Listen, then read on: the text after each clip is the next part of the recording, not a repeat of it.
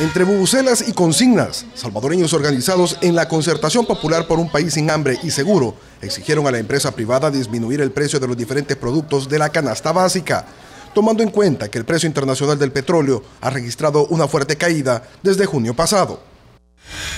¿Cuánto es la petición que ustedes hacen que le bajen a la canasta básica en porcentaje? Aproximadamente el 15%, pues, ¿verdad? Que creemos que es lo, mínimo que se puede hacer porque ha bajado también el, combustible, ¿verdad? ¿Qué sucede? Ellos dicen que los productos que traen de Centroamérica, los productos que traen de Estados Unidos, el arroz y otras cosas más que traen de otros países, eh, no bajaban porque el combustible les hacía de que se incrementara lo que es el costo de los precios, ¿verdad? De la canasta básica. Y eso hoy podemos decir que no puede haber excusa. Eso pasa por hacer una revisión de los salarios, hasta quienes tienen un sueldo de 600 dólares.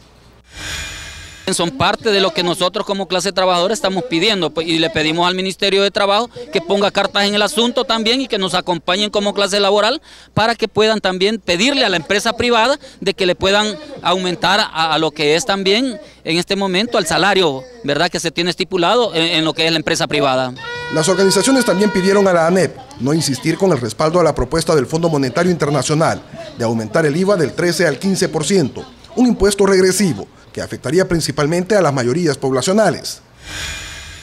El impuesto del IVA lo vamos a pagar los pobres, los trabajadores, la clase trabajadora. Los impuestos subirían todos los precios de todo, especialmente la canasta básica, ¿verdad?